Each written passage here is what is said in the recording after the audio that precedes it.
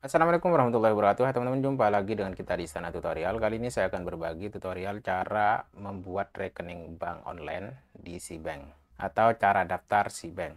Bank ini sama seperti bank pada umumnya seperti BNI, BRI dan seterusnya. Cuma bedanya kalau di si bank ini semua sistemnya serba online termasuk juga cara pendaftarannya. Dan ada beberapa kelebihan dan manfaat yang bisa kita dapatkan dari si bank ini. Di antaranya tidak ada biaya admin bulanan. Kemudian tidak ada minimal saldonya. Beda dengan bank pada umumnya. Oke tanpa berlama-lama untuk daftar si bank atau membuat akun si bank ini cukup mudah Pertama kita download dulu aplikasi si banknya di Play Store. Tinggal buka aja Play Store-nya, kemudian teman-teman ketik di kolom pencarian si bank, Sia Bank. Kurang lebih seperti ini. Dan kita install atau download. Klik OK. Oke, ini aplikasi si banknya sudah diinstal, sudah di-download. Jika sudah di-download, teman-teman tinggal klik aja buka untuk membuka aplikasinya atau teman-teman kembali ke halaman depan dan kita cari di halaman depan aplikasi Bank yang sudah kita download tadi. Kemudian kita buka. Kita klik OK aja. Dan selanjutnya kita klik mulai untuk melakukan pendaftaran. Dan kita izinkan. Kemudian kita pilih metode pendaftarannya. Teman-teman bisa daftar dengan akun Shopee jika teman-teman sudah punya akun Shopee-nya. Atau jika tidak mau daftar dengan Shopee, teman-teman bisa daftar dengan nomor handphone. Saya coba daftar dengan nomor handphone. Kemudian kita masukkan nomor HP-nya. Saya coba masukkan punya saya. Kemudian kita isi kode referral. Kode referral teman-teman bisa dikosongkan jika mau atau bisa diisi dengan kode referral berikut. Manfaat dari kode referral ini banyak sekali di antaranya kita bisa dapat bonus nantinya dan untuk pendaftarannya lebih cepat diterima kalau kita menggunakan kode referral. Jika sudah kita klik OK. Kemudian kita klik lanjut. Oke selanjutnya kita diminta memasukkan kode OTP yang dikirim ke nomor yang sudah kita masukkan tadi. Dan kode OTP-nya saya sudah dapat melalui SMS. Nah, ini dia, kita coba cek ya. Nah, ini dia kode OTP-nya, kita masukkan. Kode OTP salah, kita coba kirim ulang.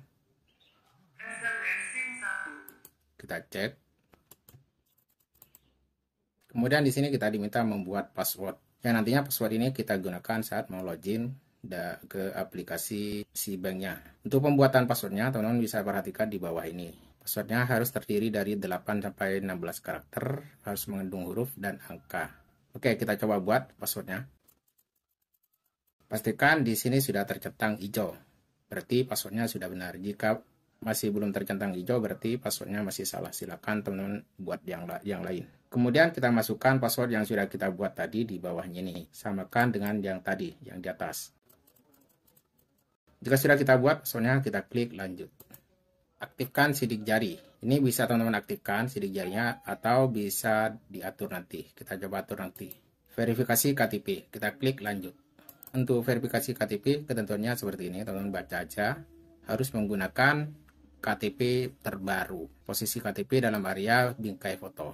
Kita klik ambil foto e-KTP. Kita izinkan, izinkan.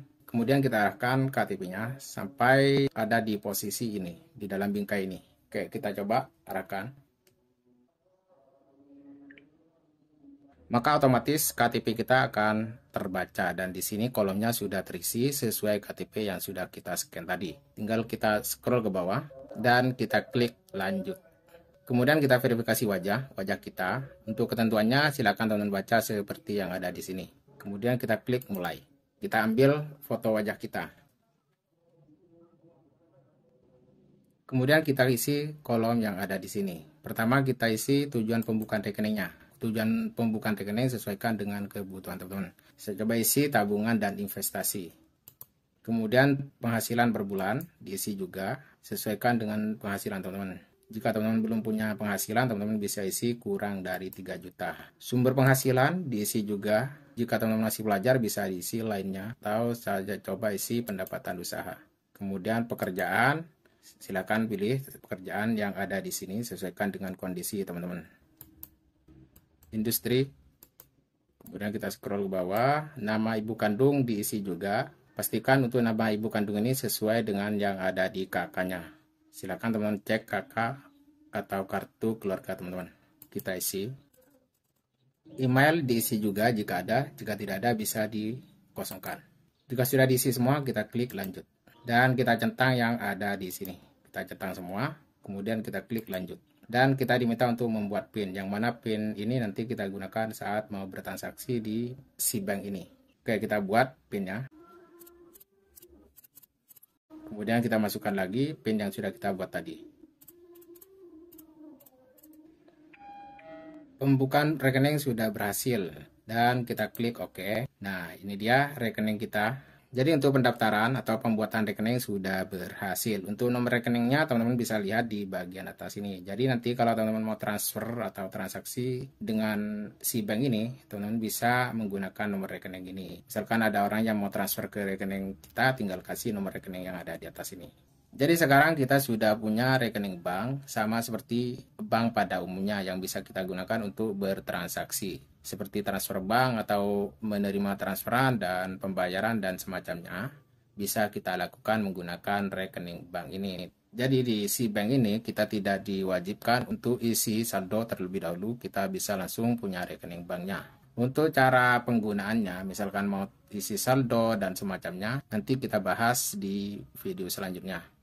Oke, itu dia teman-teman tutorial cara daftar atau membuat rekening bank di si bank. Selamat mencoba, semoga sukses. Sampai jumpa di tutorial berikutnya. Assalamualaikum warahmatullahi wabarakatuh.